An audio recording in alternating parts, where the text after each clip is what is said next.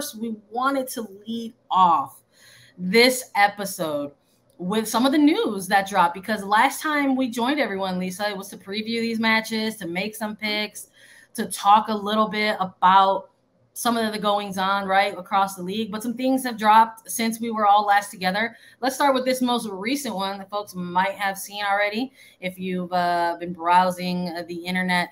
Uh, Trinity Rodman is no longer going to be able to compete uh, in the September friendly. She has a family commitment. So, Racing Louisville midfielder Savannah DeMelo will replace Rodman on the U.S. women's national team roster. It is her first senior call up. Exciting times. Huge. This is very exciting. Um, this news just dropped like maybe 20 minutes ago. I don't know. My timing's all off this morning, but it dropped this morning. Um, a tweet, I saw it as a tweet, and then a press release from the USWNT coming out, Trinity Rodman having um, to go with her family during this break. So she can't do that, which um, it, it's very timely because this was the last weekend that we would see the internationals, right? They're now going away uh, to train with the U.S. ahead of these friendlies coming up. But DeMelo is um, this is huge for her, and this is so so so well deserved. She has done fantastic this year. Um, three goals, one assist.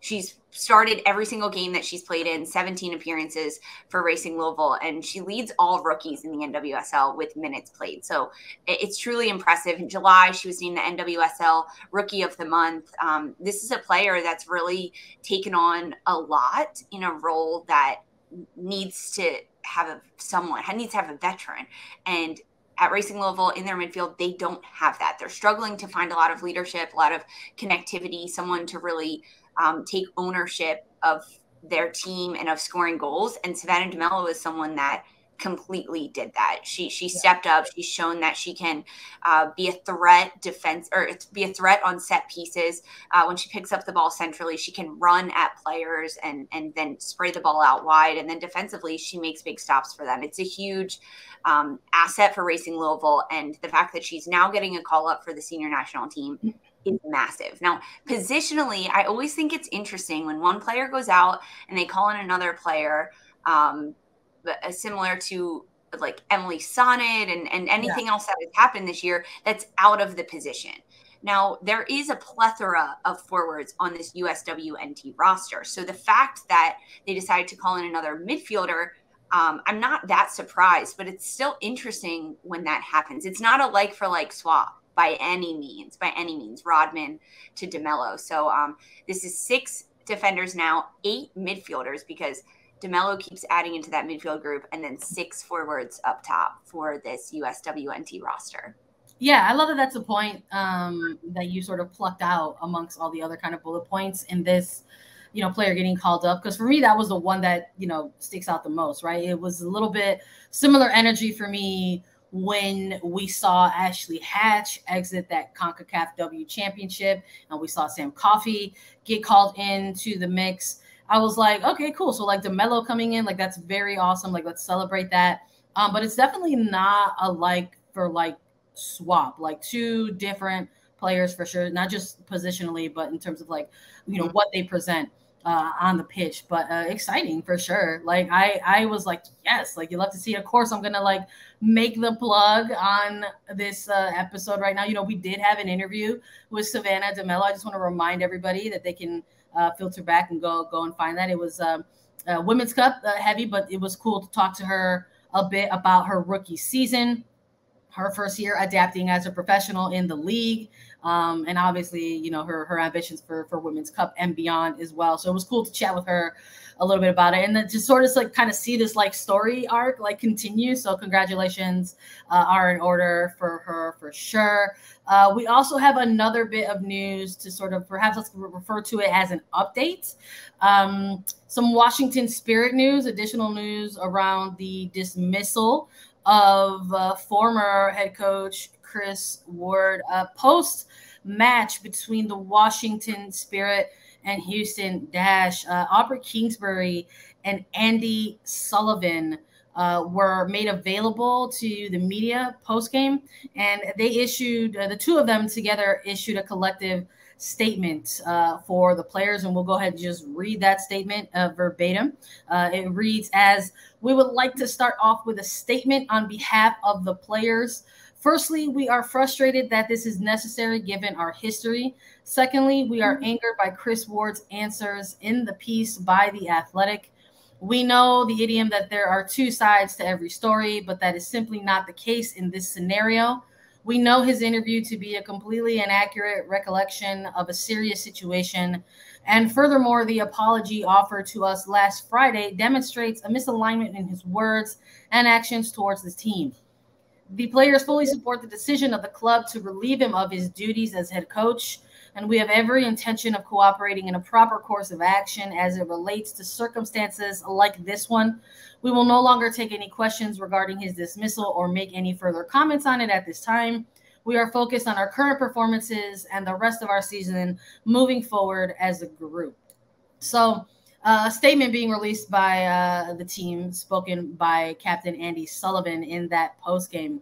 Uh, but that was ultimately uh, in response to a, an interview piece that came out uh, via the Athletic with Kris Ward specifically. So that that is also the bit of news that that sort of dropped in between this time since we uh, did our preview episode and now we're doing our recap episode. So there was that uh, interview piece that dropped and the games that happened and Spirit players who made this statement in post game. So a bit of an update that we had to go through uh, in this particular situation because the last time we did uh, any discussion about the Kris Ward dismissal was just around the fact that it was something that happened. Mm-hmm. It was done with an 11 word tweet.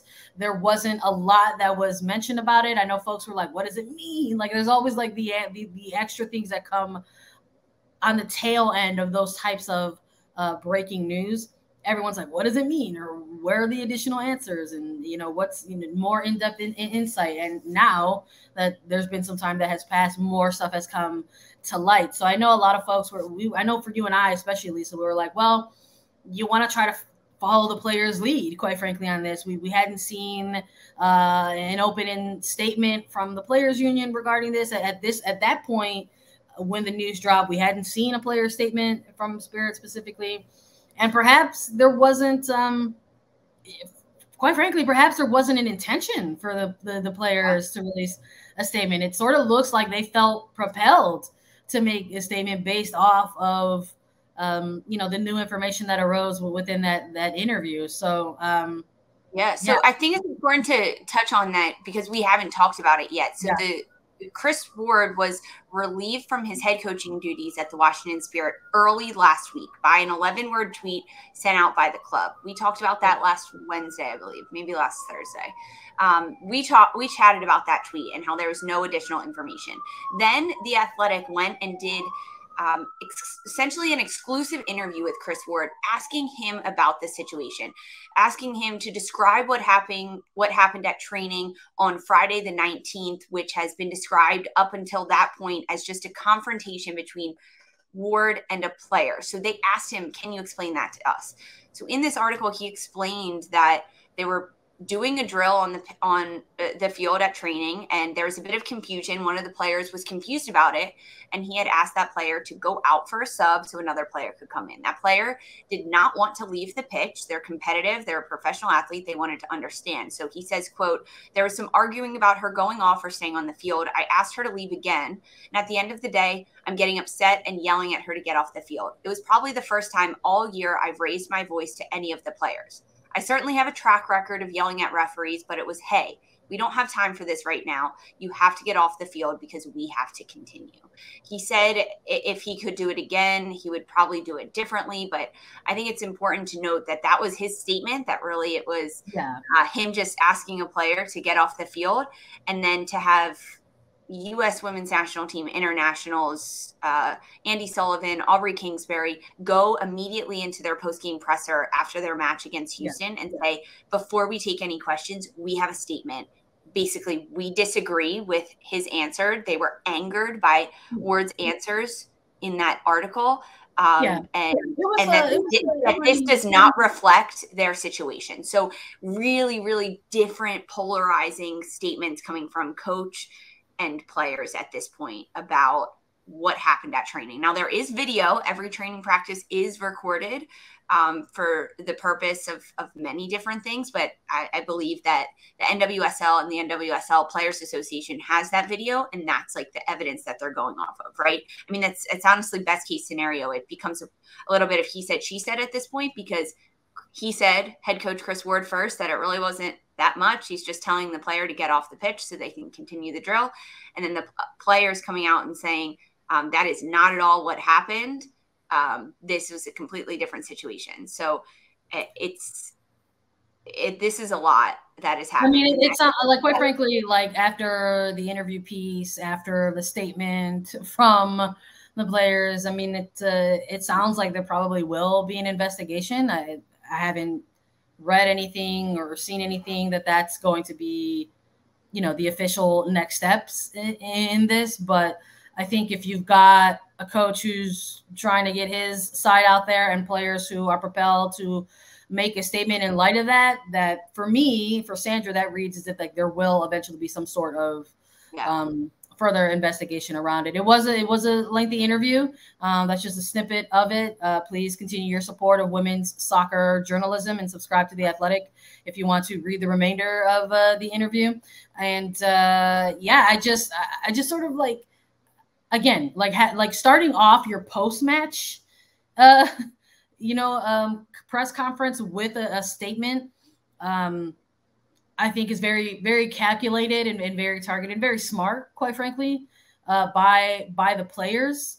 So um, I there's no argument that Andi Sullivan is incredibly intelligent, um, independent, uh, articulate player, and person. So the fact that that statement came out from her, I I don't I don't know. There's like a lot uh, happening at the time, but I'm not surprised, right? If if the players are angered and they have a moment to make a statement verbally, not a screenshot of of words that they've typed up to put out um, from the NWSLPA, but verbally from a player sitting in front of a microphone in a post game presser, um, I think that was the way to do it. Get get your word out there and then say that's the end of it. We're not discussing this. Um, let's talk about the game. Yeah, so we'll. Uh, I'm. I, I feel like this probably isn't the end of this situation. Unfortunately, we will probably, you and I will probably come back on here and, and have another update to to talk about and sort of um, walk through to with together, and uh, we'll, we'll we'll see we'll see what happens uh, in, in the meantime. Um, but that's it for for the for the current updates of that Washington Spirit Kris Ward dismissal for now. Congratulations once again to Savannah DeMelo. Uh, free agency also kicked off uh, last week, just to let everybody know. Uh, the first year going into effect for uh, with the uh, CBA amongst players, players who have had six years of service uh, can now start negotiating free their free agency uh, amongst various clubs or their respective current respective clubs. There is a little bit of a hiccup, of course, in there. Nothing that's ever the first of something ever goes off without a hiccup. Um, there is some discrepancy in terms of the official list that is out of six-year players versus a list from the Players Association that they also have additional players um, who qualify under those terms. But there's a discrepancy in terms of option years right now on player contracts. So there's a little bit of back and forth, things that will likely go to arbitration or currently in arbitration. And we will probably have an additional update on that as well. So I would like to say congratulations to the free agency season, but there's still some things that got to get ironed out.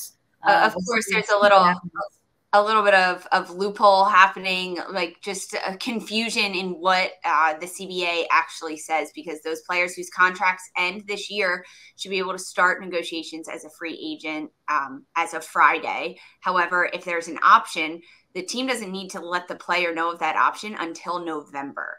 And at this point, they've already lost a couple months of negotiations, so it's a, it's a little bit of back and forth. It really, uh, for those players with options, they're at a currently how the NWSL has written it, they're at a bit of a disadvantage because they cannot um, flex that free agency until their current team decides um, if they want to use that option or not. So then those players are at a disadvantage because all of the other ones are entered into free agency. This will be ironed out. It's just a matter of time. We'll let everyone know as soon as it does happen.